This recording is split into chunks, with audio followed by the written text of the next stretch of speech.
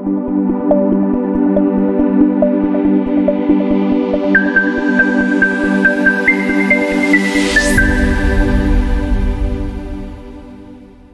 is always a pleasure bringing the word of God to the marketplace, especially here in this shop. If you look around, these are young people, about um, a hundred of them who walk around here.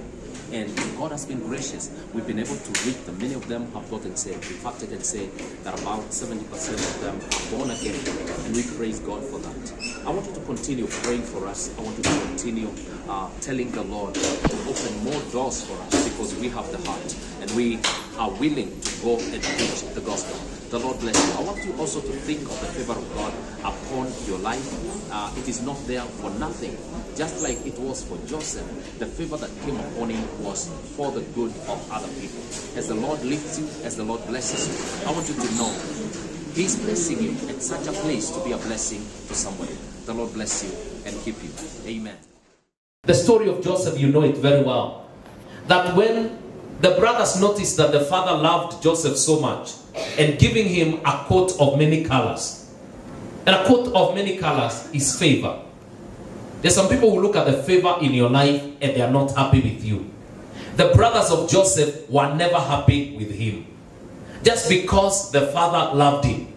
You see, there are many things God is going to do for you. He's going to make you a manager one day. How many want to be managers in the future? I'll be interested to know. And, and God also would want to see that desire. You want to be a manager somewhere, managing the other people. Everybody is reporting to you. Let me see by a show of hands. Amen. Amen. That first hand that was up, you're becoming a manager.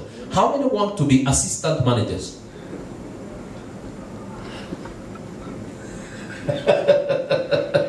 Praise the Lord. Okay, how many want to own their own businesses? Everybody want to own your business. Oh, praise the Lord. I'm happy. I also want to own more and more. Praise God. Uh, you see, that's why God has put you here. When you're faithful to somebody else and you do the work very well, you also you, you will harvest the same. Praise God. And so I want that dream to remain alive. So when they saw that David had, uh, I mean Joseph, Joseph had a lot of favor, they started thinking evil of him. You remember the story of how they put him in the pit. From the pit they sold him out. He landed to Pharaoh's house, and there God was with him. God was with Joseph. Wherever you shall be, God shall be with you. Whether they have wished you well or they have not wished you well, your mark shall be God shall be with you. Whether you find yourself in the pit, wherever you shall be, just know very well God is going to be with. me. Say, God is going to be with me. God is going to be with me. In the pit, He's going to be with me. In the pit, He's going to be with me. In Pharaoh- Pharaoh's house, He's going to be with me. In Pharaoh's house, He's going to be with me. In the prison, He's going to be with me. In the prison, He's going to be with me. Because if, if you follow the story of Joseph, you'll find they threw him even in the prison. But God was with him. Even there, the favor of God was with him. And he ended up in the palace. And uh, in Genesis 50, verse 20, is where now the brothers, after the death of Joseph, they are coming, they are thinking, maybe our brother is going to revenge. When you have done somebody wrong, and then they have ascended into power, the first thing you think is that they are going to revenge. And they are coming kneeling before Joseph. But Joseph is telling them, I've got no issue about you. I have forgiven you. You meant it for evil against me, but God meant it for good. That's why he has brought it to pass that I am now the highest in this land. This is what Joseph is telling them. So that I can be hope to many people, for many to be saved. God is going to raise you up. But I want you to do like Joseph. When you get there, do not revenge. Turn to your neighbor, tell them, God is going to lift you, but when you get there, do not revenge against your enemies. Preach to them and tell them you shall forgive them. You shall give them food. You shall create for them opportunities. God is getting you there. But be like Joseph.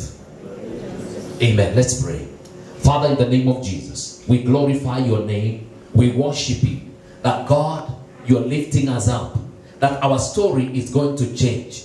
That our story is going to change like Joseph's story. The favor that you've placed upon us, oh God. That even when we have been thrown down in the pit, your love reaches us out and God gets us out. When we are in Pharaoh's house, your love also reaches out to us right there. Where we have been put in prison, oh God. Your love has reached us, oh God. And we glorify your name. Father, we thank you this morning. And I thank you for these dear ones who are listening to me this morning. As you lift them, oh God. As you bless them, oh God. As you place them, oh God, in positions of authority. I pray in the name of Jesus that, oh God, when their brothers come and kneel before them, oh God, that they shall find it in their hearts, oh God, to forgive them, O God, to provide for them, to be good to them, O Lord, so that your name may be glorified, O Lord Jesus. I thank you for every desire that is in their hearts, O God. All of them have lifted up their hands, O God, saying one day they want to own their businesses, O God. They would want to be great in this land.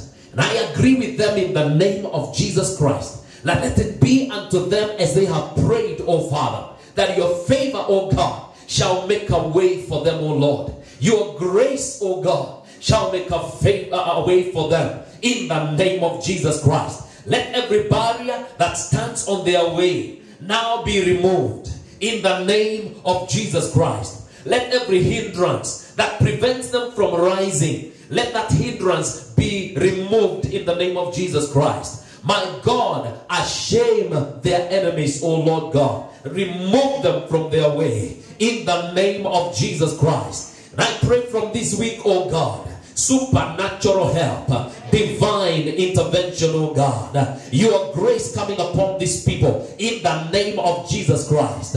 I pray that there shall be signs of miracles, wonders, oh God, great things happening in their lives in the name of Jesus Christ. I pray that they shall come to know you in a better way, oh God. They shall see you and they shall praise you all their lives in the name of Jesus Christ. And I pray for the families they represent, oh God. Reach those families with your favor, oh God.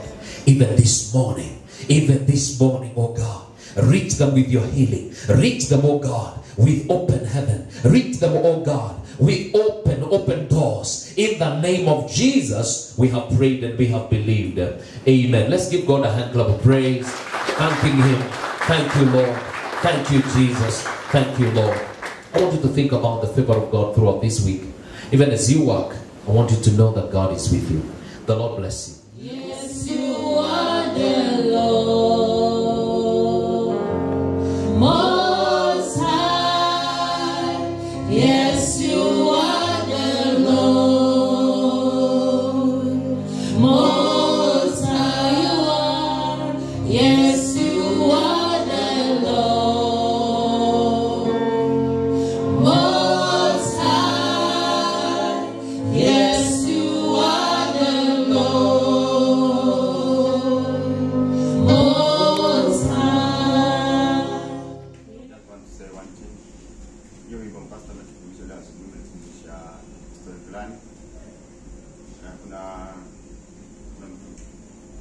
Mkubwa fulani alikuwa anaingiliwa na watu wengi sana. Lakini alikuwa na watu wengi walikuwa namwingilia but wenye alimjibu waliwajibu waliambia niko na Mungu na wananchi. Na kila mtu So Mungu wako, Mungu anatenda mema, na saa hii victory ni yake, na tushukuru Mungu kwa hayo. Don't have much, can break. Thank you.